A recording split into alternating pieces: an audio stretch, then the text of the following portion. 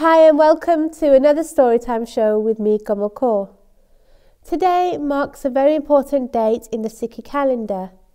We're going to be talking about how our Char Sahibzade became martyrs for our Sikh religion. For Christians, December is a time of year to send warm wishes and to celebrate Christmas and the birth of Jesus Christ. But for Sikh, is about fighting for our religion. Sikh have Singh in their surname, which means lion, and lions are fearless. And this is exactly what the Sikh demonstrate throughout history and to this very day. Guru Gobind Singh Ji is our 10th Guru. He had four sons who were collectively known as the Char. Baba Ajit Singh Ji, Baba Jujhar Singh Ji, Baba Zora Singh Ji, Baba Fateh Singh Ji. Baba Zora Singh Ji and Baba Fateh Singh Ji were the two youngest of the Char Sahibzade, and they were told by Wazir Khan, who was a Nawab of Sirhind at that time, that they had to be bricked alive because they refused to convert to Islam. This event took place on the 26th of December 1705.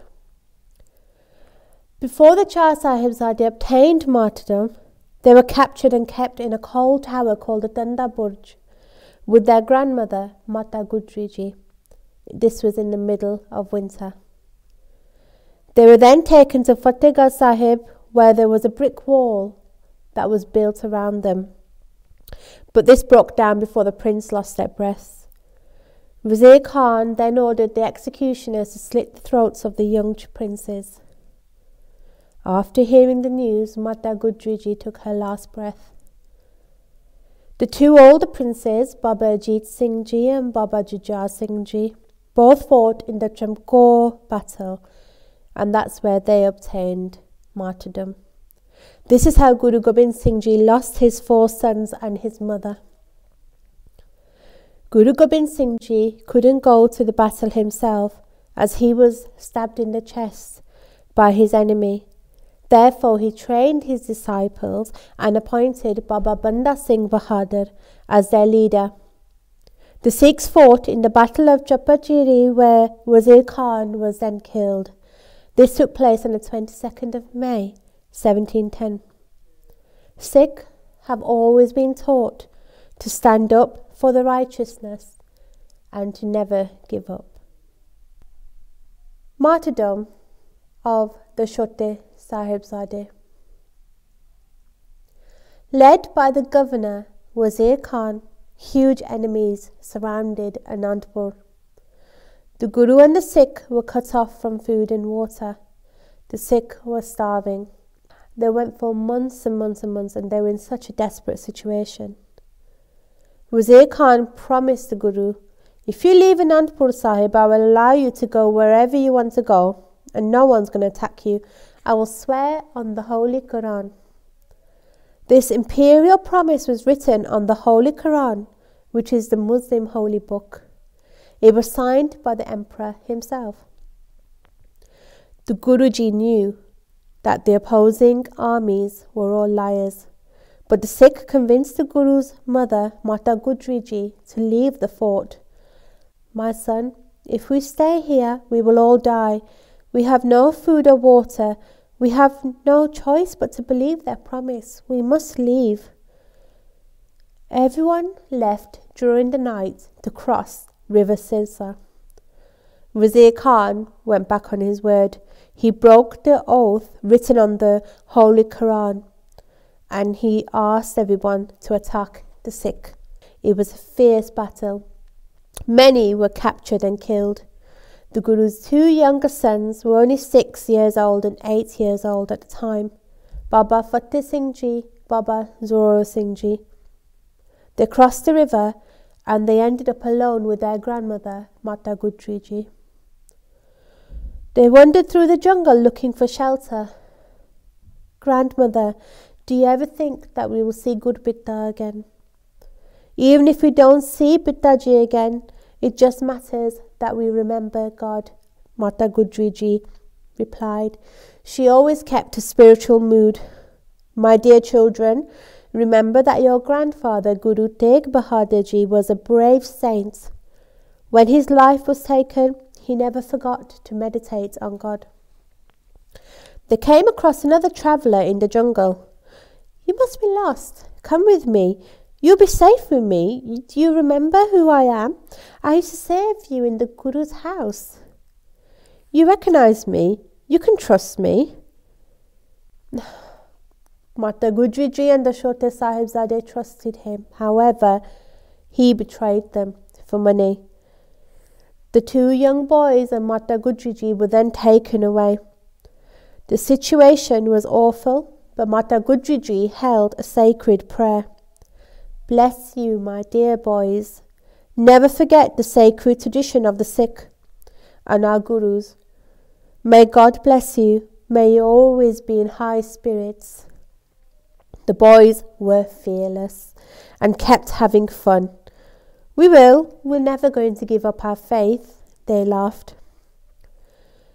Wazir Khan ordered, Bring me the sons of that wretched Gobind Rai. He was corrected by members of his party. Sir, you've got to call him Gobind Singh now. I don't care, said Wazir Khan.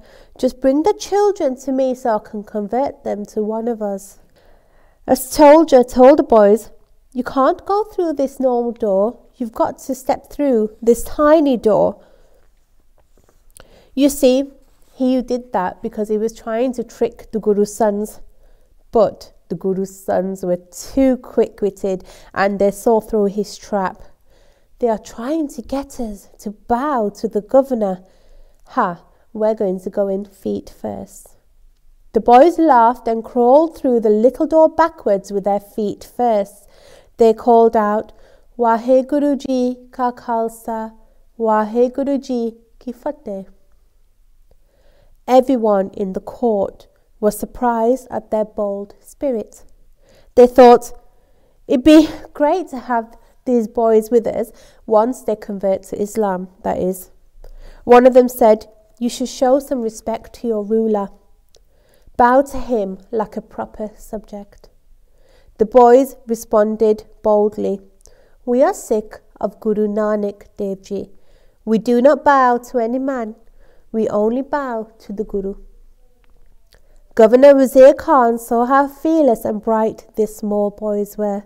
He thought that history would see him as a great man if he could change them to their religion. How sweet and brave they are. They will be great men one day. They will make excellent Muslims. My dear boys, our religion will be proud to have you.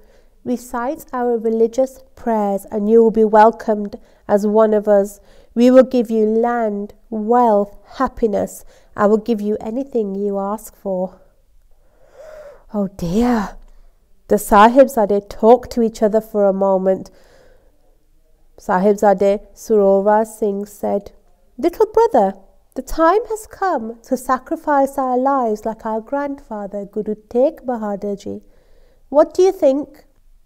Sahibzada Fateh Singh Ji said, our grandfather gave his head, but not his faith. We must follow his example. We have taken Amrit. We are blessed by the Spirit and by the sword. Why should we worry about death? Let's give our lives. Sikhi will grow and these tyrants will fall. The Sahibzade spoke to the wicked Wazir Khan. We come from a virtuous family. Our father is Guru Gobind Singh Ji, our grandfather is Guru Tegh Bahadur Ji, and our great grandfather is Guru Har Gobind Ji. We will follow their example. Our faith is more important. We don't care for your wealth. You can't bribe us, you fool. We will never give up Sikhi. When you killed our grandfather, you started a fire and when you kill us, that fire will explode. You will be destroyed, and we will not lose our faith. We won't give up Sikhi no matter what. Death has no meaning for us. Governor Wazir Khan wasn't used to being spoken to like that, and especially from young children. He said to his priest, Did you just hear what these little boys said, Do you think that they're innocent children? These boys are just rebels like their father. We must punish them. The priest didn't know what to say. But your governorship, we can't punish them. They have not committed any crimes. It says in our law of our religion, Wazir Khan interrupted again. They are a threat. Have you heard what they're saying? He really had no good reason to punish his innocent and brave sons of the Guru, so he tried convincing them again.